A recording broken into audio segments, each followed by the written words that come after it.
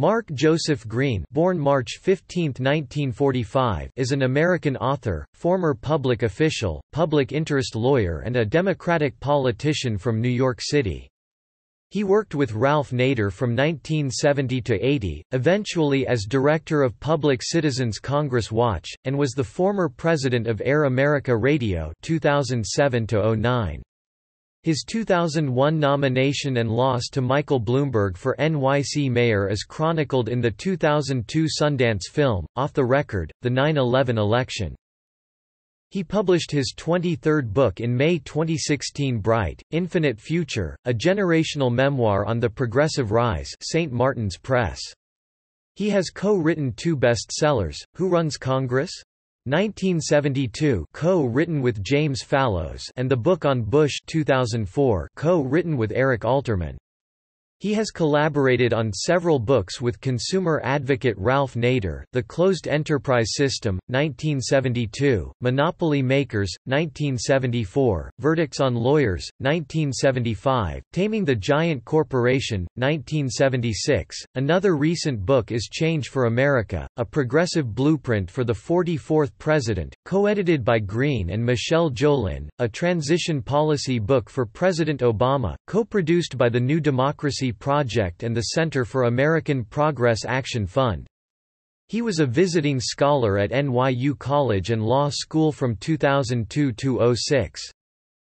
He was host of the nationally syndicated radio show, Both Sides Now from 2010 December 2016 which was aired on 200 stations and recorded at iHeartMedia in New York City.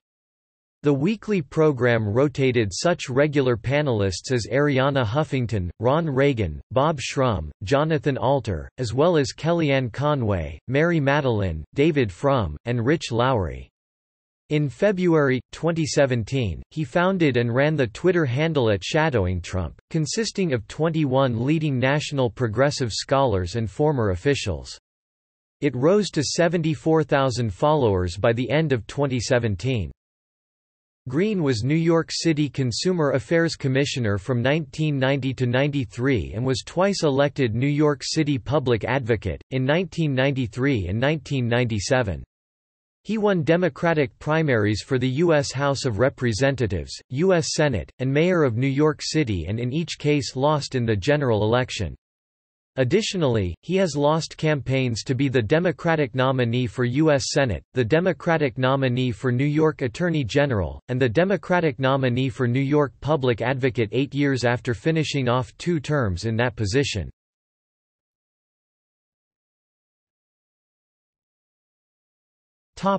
Early life and education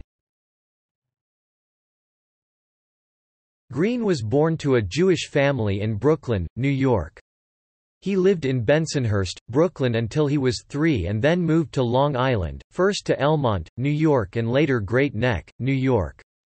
Both his parents were Republicans, his father, a lawyer and residential apartment landlord and his mother, a public school teacher. He graduated from Great Neck South High School in 1963.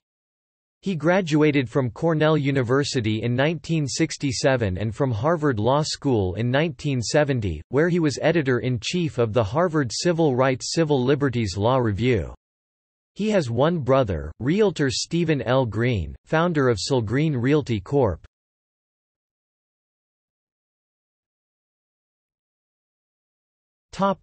Personal life Green has been married twice. His first marriage to Lynn Hinnerman, whom he married while in law school, ended after 18 months. In 1977, Green married Deni Frand, who later became the director of the New York City office of the liberal interest group People for the American Way, as well as a senior associate at AOL Time Warner and the City Foundation. The couple has two children, Jonah and Jenya.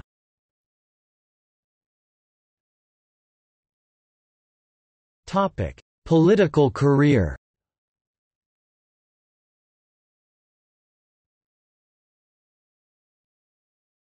Topic: 1960s to 1970s. In 1967, he interned for Jacob Javits and while in law school in the early 1970s, Green was a Nader's Raider at Ralph Nader's Public Citizen where he worked on a lawsuit against the administration of Richard Nixon after the firing of Watergate Special Prosecutor Archibald Cox. After law school, he returned to Washington, D.C. and ran the Congress Watch division of the consumer rights advocacy group Public Citizen from 1977 to 80.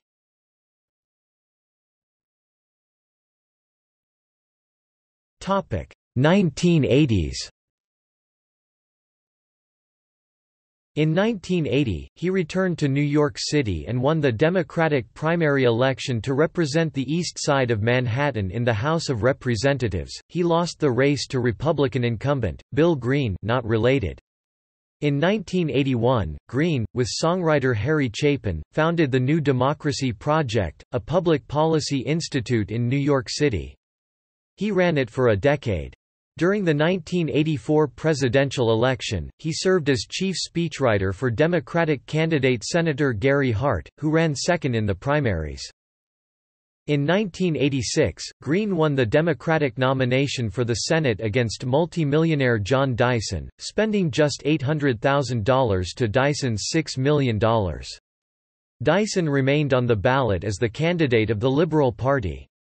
Green lost the general election to Republican incumbent Alphonse D'Amato who was supported by then-Mayor Ed Koch. Green filed a formal ethics complaint in the Senate Ethics Committee against D'Amato that resulted in the senator being reprimanded by the United States Senate after media reports that suggested that nomination of D'Amato as a chair of the Senate Committee of Banking, Housing, and Urban Affairs had been tainted by illegal financing of his campaign to the Senate. During his Senate campaign, Green refused to accept money from special interest groups political action committees PACs which had accounted for 25% of all campaign spending in congressional campaigns in 1984 denouncing PACs as legalized bribery. His opinion mirrored the stance of Common Cause, the citizens' lobby which organized to abolish PACs over fears of special interests buying votes. Topic 1990s. In 1990, he was appointed the Consumer Affairs Commissioner of New York City by Mayor David Dinkins. In 1993, he was elected the first New York City public advocate, and re-elected in 1997. In that office, Green led investigations of HMOs, hospitals, and nursing homes which led to fines by the New York State Attorney General. A 1994 investigation on the Bell regulations, Libby Zion Law, to limit resident working hours and requiring physician supervision, and follow-up study prompted the New York State Department of Health to crack down on violating hospitals.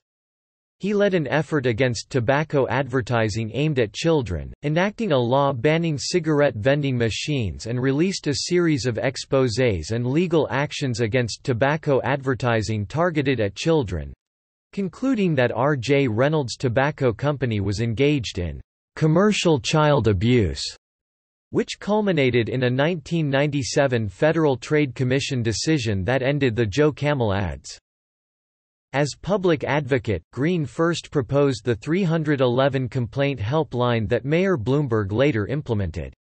He wrote laws that matched small donations with multiple city funds, created the Voter Commission, upheld the legality of the Independent Budget Office, barred stores from charging women more than men for the same services, and that prohibited companies from firing female employees merely because they were victims of domestic violence. He started the city's first website, NYC.gov, which he later gifted to City Hall, where it is still in use. One of his most high-profile accomplishments was a lawsuit to obtain information about racial profiling in Rudy Giuliani's police force. As Green told the Gotham Gazette, "...we sued Mayor Giuliani because he was in deep denial about racial profiling. After winning the case, we released an investigation showing a pattern of unpunished misconduct. and the rate that police with substantiated complaints are punished went from 25% to 75%. Green was reportedly one of the first public officials to draw attention to racial profiling by the NYPD. Green ran for the U.S. Senate again in 1998, when D'Amato was seeking a fourth term. Green finished third in the Democratic primary behind the winner, Congressman Charles Schumer, and 1984 Democratic vice presidential nominee Geraldine Ferraro. Despite Green's personal ties to Nader, he did not support Nader's presidential campaigns. In the 2000 campaign he praised Nader's work as a consumer advocate but endorsed Democratic nominee Al Gore, who narrowly lost the election to George W. Bush. In 2000, he assisted the successful Senate campaign of First Lady Hillary Clinton, coining the phrase, "'listening tour' which guided the candidate through a state she hadn't previously lived in. In 2004, Green was co-chair of Senator John Kerry's presidential campaign in New York.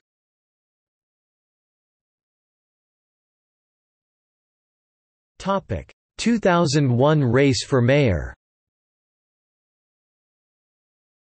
Green ran for mayor of New York City and won the Democratic nomination in 2001 but lost to Michael Bloomberg 50% to 48% in the closest NYC mayoral election in a century.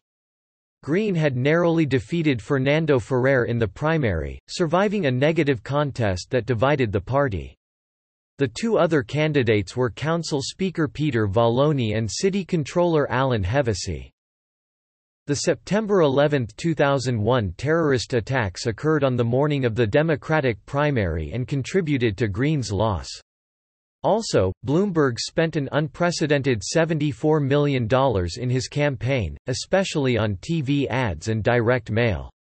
Rudy Giuliani, who suddenly had an extremely high popularity publicly endorsed Bloomberg, The Economist wrote, the billionaire businessman Bloomberg is usually seen as one of the post-September 11 winners if such a word can be so used, he would probably have lost the mayoralty to Mark Green, a leftish Democrat, had the terrorist strike not happened. Yet it is also worth noting that his election probably spared New York City a turbulent period of score settling over Rudy Giuliani's legacy.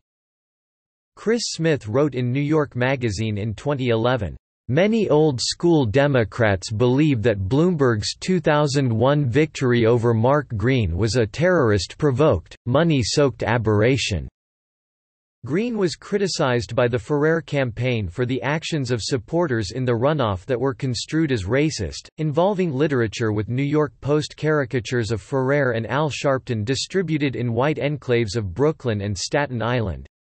Green stated that he had nothing to do with the dissemination of the literature. An investigation by the District Attorney of Kings County, New York, Charles J. Hynes, came to the conclusion that Mark Green had no knowledge of these events, and that when he learned of them, he repeatedly denounced the distribution of this literature and sought to find out who had engaged in it.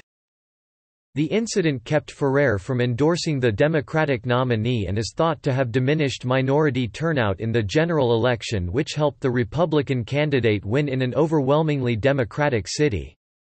Green wrote an article about the campaign a decade later in the 9-11 anniversary issue of New York Magazine, in which he reported that Bloomberg told him in 2002 that, "...I wouldn't have won," without Ferrer's late campaign opposition to Green.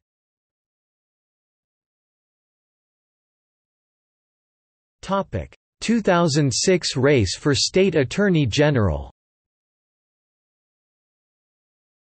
Green ran in the Democratic primary for New York State Attorney General in 2006. He faced former HUD Secretary Andrew Cuomo, former White House Staff Secretary Sean Patrick Maloney, and former Lieutenant Governor candidate Charles King in the primary. Green did not receive the required 25% at the state Democratic Convention to earn a spot on the primary ballot and therefore had to circulate nominating petitions statewide to be on the September ballot. He was required to submit at least 15,000 valid signatures. On July 13, he submitted more than 40,000 signatures. He held several endorsements of note, including former NYC Mayor David Dinkins, Brooklyn Borough President Marty Markowitz, the Sierra Club, the National Organization for Women now, the New York Times, and the New York Daily News. On September 12, 2006, Green lost to Andrew Cuomo in his bid to secure the Democratic nomination to succeed then Attorney General Eliot Spitzer. On the evening the results came in, he vowed to reporters that I won't be running for office again. But I'll continue to advocate, write and teach." Cuomo beat the Republican candidate, former Westchester County District Attorney Jeanine Pirro.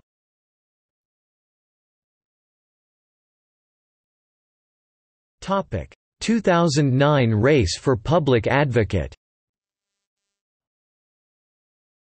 On February 10, 2009, Green announced that he would again run for the office of public advocate.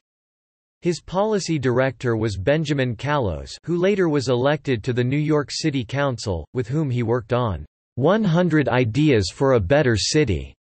As one of the top two finishers in the Democratic primary, Green qualified for the September 29 runoff, but lost to City Council member Bill de Blasio who went on to win the mayoralty in 2013.